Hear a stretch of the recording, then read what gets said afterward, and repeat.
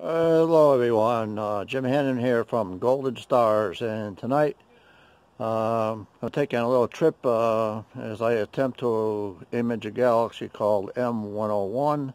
It's a giant spiral galaxy. Uh, it's up actually at the handle of the Big Dipper. Uh, I'm going to be using that 4 inch telescope that's behind me. Uh, the problem I might have is behind me you can see this tree. Now the handle of the dipper is going to be right up over top of that tree and if the galaxy is high enough I can image it um, over top of that tree. Um, failing that uh, I'll move on to a different subject and we'll image something else. Um, I'll try to take you on as much of the trip as I can. I'll try to show you how the focusing process goes uh, after I align the mount on the bright stars uh, that I need to align it on and have it computerized for the night. Um, check in with you a bit. Okay, folks, uh, we're back inside now. Uh, the mount is calibrating. Uh, those yellow crosshairs are the uh, crosshairs, and you can see that little box, and there's a star that's just slightly outside the box. Uh, right now what the mount is doing, is it is moving it very slowly to the north, um, and then bringing it back to the center, and then doing the same, same thing to the left or right, uh, going east to west. And then that tells the mount uh, how much backlash and movement there is in, uh, off of the star. So at that point, um, the, that yellow line will turn green, um, both of them, and it'll tell me that the telescope is guiding exactly. We are already on the galaxy, and I will begin to show you images of those uh, once I start guarding this guarding. Uh, this process of um, calibrating the, the mount and the guide, it, it, takes several minutes. Kind of a pain to wait for, but uh, uh, it it, uh, it, does a great job once it starts. So we just have to wait for the calibration to finish, and we will start imaging.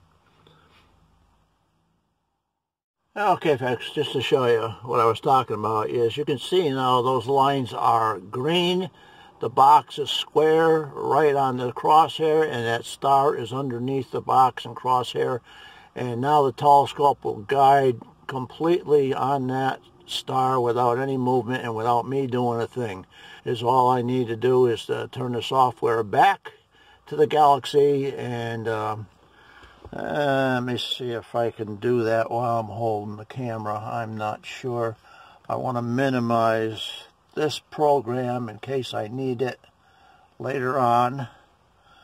Um, I'm trying to see what I'm doing here without the... Okay, and we can drop that down into the tray. And it will be continuing to run. And here is this, the um, software for the CCD camera now up. And we'll maximize that. And there in the center, you can see the galaxy from a test image. And uh, I'll let you see what goes on in a few minutes. Um, after I take a couple of uh, images, I'll come back and show you how much better of an image we're getting.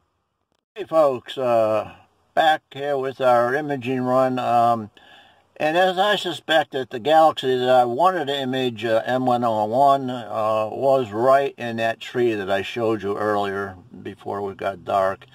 Um, this uh, is a Galaxy M81. Uh, you can see the core here.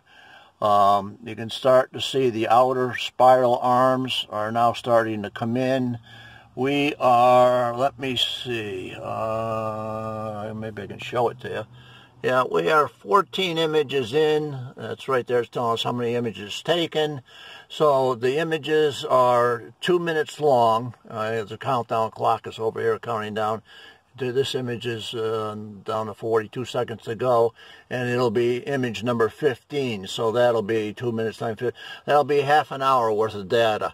Now this this is in hydrogen alpha light, and, and that's just a fancy word for saying we're shooting this in very deep, deep red light.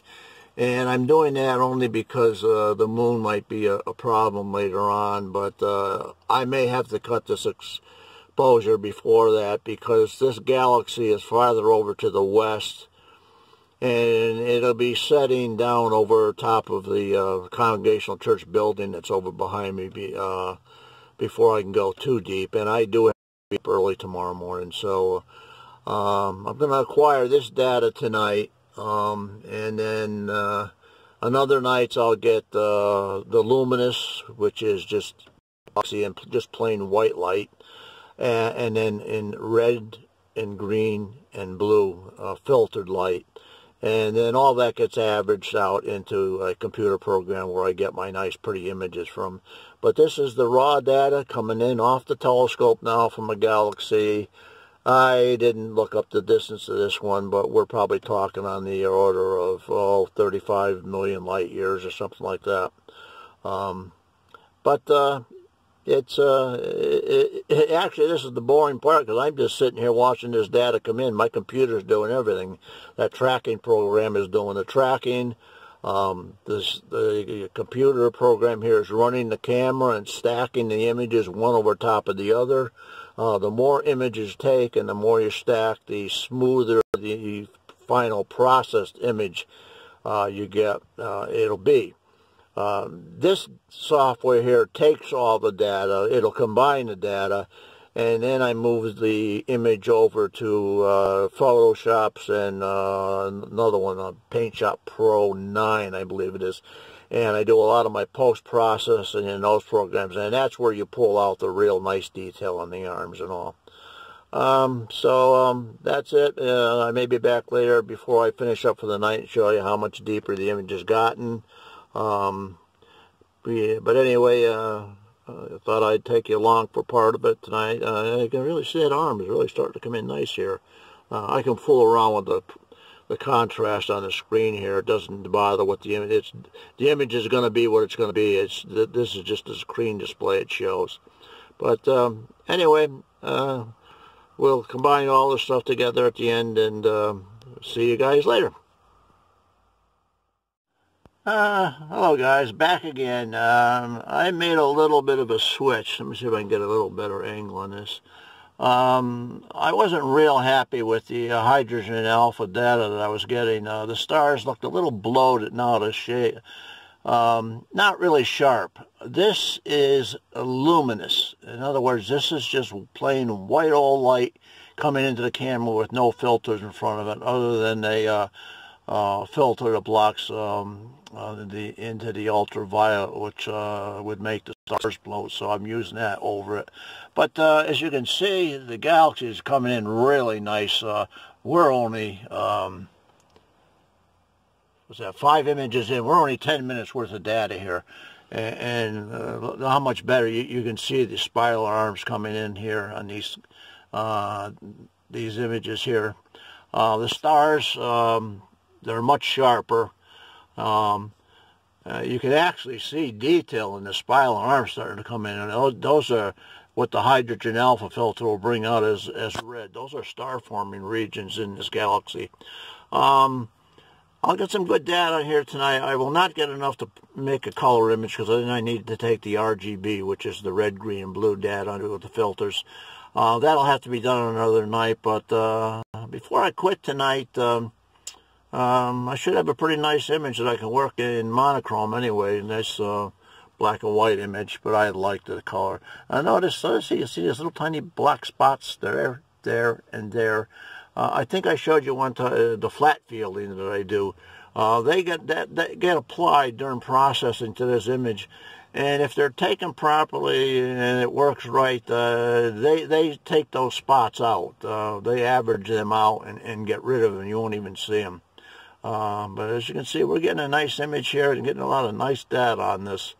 Um, and then uh, it'll probably be, this will probably be it for this video tonight. Um, I'm hoping that uh, I can get, I know we got a cloudy stretch coming up. Uh, and then at some point later, I'd like to get the uh, red, green, and blue data to uh, put a complete color image together. So we'll see how it goes, guys, and talk to you later. Okay guys, this is the completed image from uh, last night's run. Um, it's only a monochrome as I only attained a luminance channel. Um, the core is blowing out. I had some severe difficulty processing this for some reason. Software really blew that this core should not be that brilliant. It should be uh, a little dimmer. What does show up very nice though are the the arms. In fact, you can see these little knots in the arms. Those are the star forming regions. Um, it's a total one hour exposure.